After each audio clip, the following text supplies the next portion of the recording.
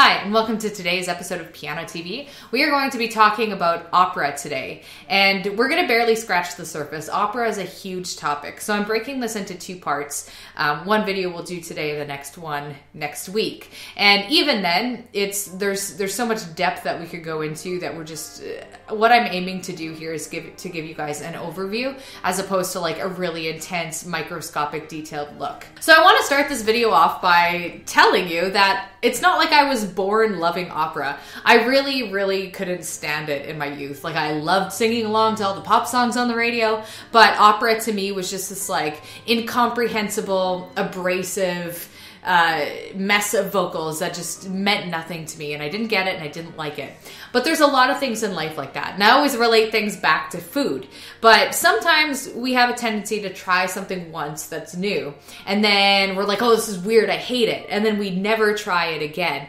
And a lot of the times that repulsion is just because it's new, because we don't understand it. So, I mean, how many of you actually enjoyed the taste of beer or black coffee? or uh, like olives the first time you try it. These are acquired tastes, and the more you try them, the more you can develop a taste for them. And I find opera to be basically just like a strong cup of black coffee. And even though it's not like my absolute favorite thing in the world, like it's not like I'm spending all my free time listening to operas, I have watched probably about a dozen operas in my day. Never live, that's a sad thing for me. I really want to see live opera. But it's cool because you can watch full operas on YouTube with English subtitles or you know whatever language you speak and without that like it's just the only way to live without the subtitles i would not like opera nearly as much because then you miss the whole story but i'm going off on a tangent here basically my goal in this video and then the next one is to give you what I needed to appreciate opera, and that was just basic understanding. The reason I didn't like opera is because I didn't get it. And just through learning a little bit about it, through learning about its forms and functions, I was able to then appreciate it. And I also want to give you a couple starting points for if you want to watch an opera. I have some suggestions in this video that you can check out and all that. So let's get started. Opera is basically the original musical theater. Singers in a traditional opera will generally alternate between two different types of singing. One of them is recitative singing, which is it's kind of almost like early rapping. Um, it doesn't sound anything like rapping though, but it's half spoken, half sung. And then the other type of singing is arias, which uh, th- that's like the actual catchy tune. And in opera, you can expect drama complete with acting and a storyline, and you can expect music with a small orchestra and vocalists. You can also expect costumes and scenery, and sometimes there's even dancing. So we'll get into specific details shortly, but as an overview, opera was born in Italy at the end of the 1500s, which is around the start of the Baroque era. It's been a long, sustained, and evolving art style. It's continued on for hundreds of years, which is much longer than many other styles and genres. And tons of famous composers have written operas, such as Handel, Mozart, Wagner. Um, honestly, like most composers have tried their hand at opera at one point or another, with varying degrees of success. Opera didn't just like appear out of thin air one day in the late 16th century Italy. Toward the end of the Renaissance, a style called monody became more popular. See, okay, so here's how it worked. Music had become incredibly complicated in the Renaissance, especially towards the end of it, with these crazy multiple layers of vocals, and there was no way to understand what the words of the text were because everything was overlapping. So people started to crave something simpler, and that's where monody entered the equation. And that style was usually just like a single voice over chords, much, much simpler. And the point of it was to convey a dramatic and emotional message. And then this, in turn, ended up evolving into the aria from an opera. At the same time, theater was a big deal across Europe in the 1500s, as we know from Shakespeare. And theatrical performances featuring music did exist and were largely used for big celebrations like weddings. There were a group of prominent artists living in Florence who had a vision of changing the musical and theatrical landscape of Italy, as, you know, young artists tend to want to do. They basically had artistic celebrity house parties, which were full of music and drama and literature and I'm sure really intense conversations. And these guys were really into Greek drama, and what they really wanted to do was bring it back and make it cool again. From that, the first opera was born in 1597 called Dafne, after the Greek goddess, written by Jacopo Peri.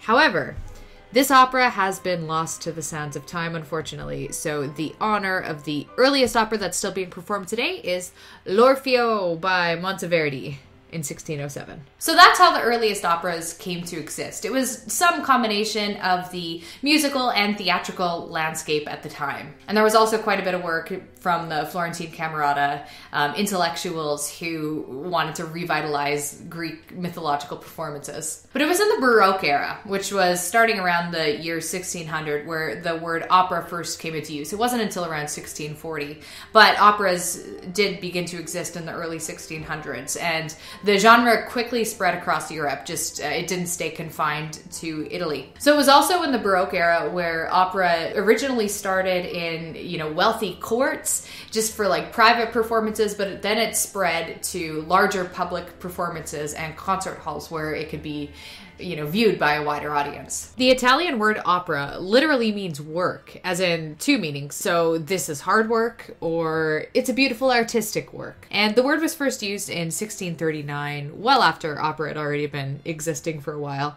And basically the meaning is a composition in which poetry, dance, and music are all combined. Monteverdi continued being critical to the form, and he wrote many more operas in the mid 1600s, including, uh, aside from L'Orfeo, he wrote the Coronation of Poppaea and The Return of Ulysses. These early Baroque operas tended to blend a little bit of comedy with a little bit of tragedy, which did offend some people who had finer sensibilities. See, high class folk at the time preferred their opera to be serious, whereas the growing amount of new wealthy people, who were often from humble origins, enjoyed a little humor and sometimes crassness in their opera. So, because of that, opera began splitting into different, more defined forms, which you can see here. So, opera split into opera seria, serious opera, opera buffa, comedy opera, and then Commedia dell'arte, which is basically like comedy improvisational theater, which isn't actually opera at all, but it did grow from the early operas. So we'll start by taking a look at opera seria, which is the early form of opera, also known as an English serious opera. And this type of opera is mostly made up of two musical components. You have the secco recitative, which just means dry recitative. This is the sing talking that we were kind of talking about, and it's usually only sung over top of basso continuo, which is just like a couple instruments. So it's pretty sparse. And then that's contrasted with long da capo arias, and these are like the really virtuosic, full orchestra pieces. More instruments, more voice. I kind of mentioned this already, but I like to think of recitatives as like the Baroque version of rap music, even though it sounds nothing like rap. It's just the style in which it's it's sung. It's like half sung, but also half speaking. And then you have the da capo arias, which are these elaborate and florid melodies, usually like super melodic. They have lots of movement, lots of tune and soul.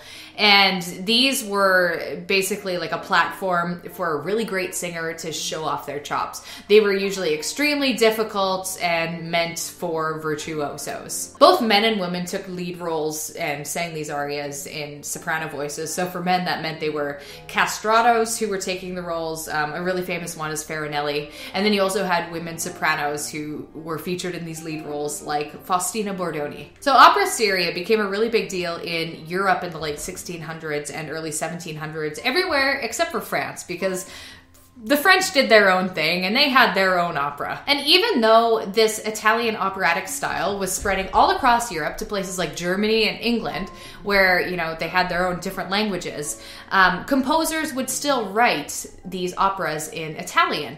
So, for example, Handel, who wrote operas in England for London audiences would still use an Italian libretti. Like he would still use Italian text because that was just the fashion at the time. Anyway, let's back up a moment and get back to Monteverdi, who was, as we know now, one of opera's innovators.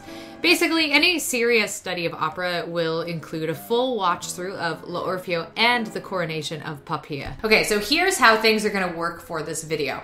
And I got my reasons for this. So it's virtually impossible to find public domain operatic performances, uh, copyright free performances, and that's how I roll with this channel. I don't want to, you know, infringe on any copyright. But I also feel strongly that a 30 second clip that I play for you of a three hour opera is like way too minuscule to give you any sense of the genre. So in this case, what I'm to do is I'm to leave links on the screen that you can click through and check out. And honestly, like the best way to get to know opera is to just watch one, watch it like a movie. Pick one with English subtitles and sit down with some popcorn and have a good time. I'll show you a few that you can do that with, and I'll also show a few excerpts as well. So I'll leave you the links here on the screen if you want to click through them and check them out on YouTube. I'll also have the links available on the associated blog post for this. So what I've got up on the screen here is the full version of L'Orfeo, but I've also pulled up In un fiorito prato, which is a little excerpt, and it, it should give you a sense of what a Baroque secco recitative sounds like. And that's where that's like the dry recitative where there's minimal accompaniment and it's kind of like half singing half talking. So anyway the translation of the title is in a flowery meadow. It's super passionate. This messenger Silvia sings it and she's talking about the details of eurydice's death. I mean as I'm saying this, giving synopsis synopses of opera like never makes sense just because it's super weird and detailed. But anyway, hopefully that gives you a little bit of context if you check it out. As time went on, the genre of opera seria became more and more convoluted. It became less about the story and more about the crazy vocalists showing off all their mad skills everywhere. One composer who was very critical about this direction change was Christopher Gluck, and he said that the music must always be sub subservient to the drama. So what he went and did is he created his own operas to display his ideal, including a fairly famous one called Orfeo ed Euridice. The melodies weren't wild and showy, and the harmonies were much, much simpler. This was also around the beginning of the classical era, and Gluck's work would go on to influence classical composers like Mozart and then later Wagner. To get a sense of Gluck's simpler tastes, I'm going to share a link with you from Act 1, Scene 1 of Orfeo ed Euridice, and this is titled Ah, se intorno a quest'urna It's got English subtitles, and the whole opera can be found on YouTube if you want to check it all out.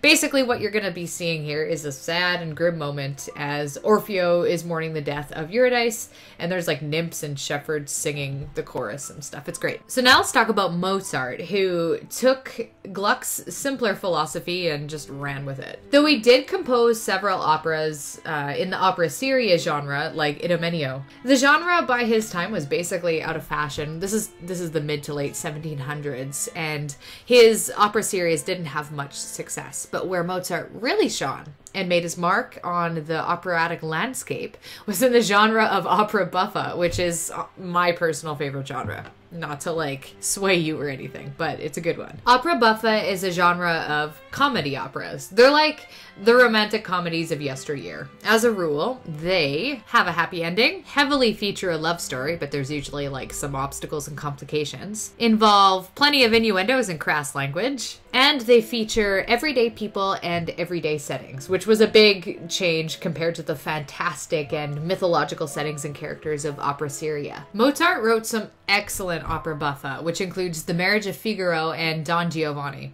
I've watched them both, and they're really great first operas, like if you've never watched one before, because they're really approachable to the casual viewer and they're funny. When we're talking about Mozartian operas, we really have to mention the librettist Lorenzo da Ponte. So basically, his job was to write all the words, so he wrote the story, the lines, and Mozart did all the music. And his name isn't as famous as Mozart's, but it was basically a 50 50 venture, and they worked closely on a lot of operas together. I'll leave you a link on the screen to the full version of Marriage of Figaro, which is a little bit of an accomplishment to get through it over three hours long, but it's absolutely worth a watch, and you can divide it up if that seems like an intimidating amount of time to you basically it'll have you right away from the introduction, which you'll probably know. The introduction to Marriage of Figaro is super super famous and I really just feel like he brought this like fresh, irreplaceable spirit to the opera. Like there's nothing like Mozart's operas, and 10 out of 10 would recommend it to you. So just because Italian opera was like the main dominant force across Europe doesn't mean that other countries weren't sort of formulating their own different versions of opera. We've already mentioned, and we'll talk about this in a minute, French opera was like its entirely own thing. An Italian opera never became popular in France, but there were other countries like Germany developing their own unique style. So Germans developed Singspiel, which is what it sounds like a like Singspiel, sing speak, uh, a type of um, opera that was both sung and spoken. And then you had natural born German composers like Handel who chose to write in Italian, but there were composers like Mozart who popularized singspiel.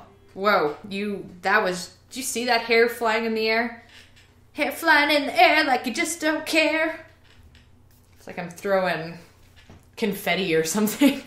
Okay. But then Mozart, I mean, who else, entered the scene and wrote some Singspiel, which allowed German opera to hold more prominence in Europe. So among these famous Singspiel he wrote are Il Seraglio and The Magic Flute. Later, Mozart would go on to pass the Singspiel torch to his successors Beethoven and Schubert, who I didn't picture here for some reason, and finally Wagner. But we're going to talk about those guys in part two of this video. I want to share with you a recording of the Queen of the Night singing an aria from the Magic Flute. It's from Act 2, Scene 3, and it's a really famous little tune. Even if you think you don't know, it, you probably will. If you skip ahead a little bit of the dialogue, you'll probably recognize the impressive vocal hopping. And I love the subtitle for this one Hell's Vengeance Boils in My Heart. This tune is all about murder, and it's kind of funny because the background music, the tune is like actually pretty happy sounding. So I love it. Instead of absorbing the Italian opera tradition, the French just created their own. It all started with Jean Baptiste Lully's opera Cadmus et Hermione, which was written in the genre of uh, musical tragedy, basically. Uh, and these this genre featured mythological stories, kind of like opera seria, um, but they didn't necessarily end tragically, contrary to what the name suggests. The main concern for these operas usually be that they're noble and elevated. Since these operas were specifically designed for the French language, the recitatives are unique and, and they move differently than Italian operas, since the contours of the language are different. Another unique feature of French opera was how each act would end with a divertissement, which involved big choruses, group dances, and a big visual spectacle to appeal to the public. The French also weren't a big fan of castratos like the rest of Europe, preferring their male roles to sound a little bit more like men, although they still use like higher male tenor voices. Jean-Baptiste Lully, considered the father of French opera, wrote Cadmus et Hermione in 1673, along with the librettist Philippe Quinault.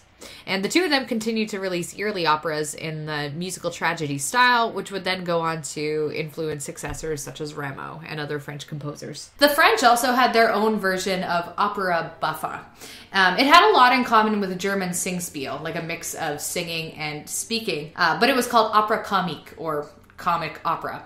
Now, the big difference between that and opera buffa is that even though there would be comedic elements, it didn't necessarily have a happy ending like opera buffa basically predictably always did. So it's like the difference between a romantic comedy and just like a standard drama. And that is all for today's video on opera. I hope you've learned something definitely, definitely, like if you do nothing else, watch The Marriage of Figaro. I mean, Don Giovanni's great too. Basically, like you can't go wrong with a good old Mozart opera to start yourself off. It's a good like three hours of your life spent. I mean, if you're just gonna watch Netflix anyway, might as well like have a little bit of an educational entertainment session. So I'll catch you in the next video. Thank you so much for everyone who helps make these videos possible. For all of you who comment and you know give these videos likes and everything, I really, really appreciate it. So see you later alligator.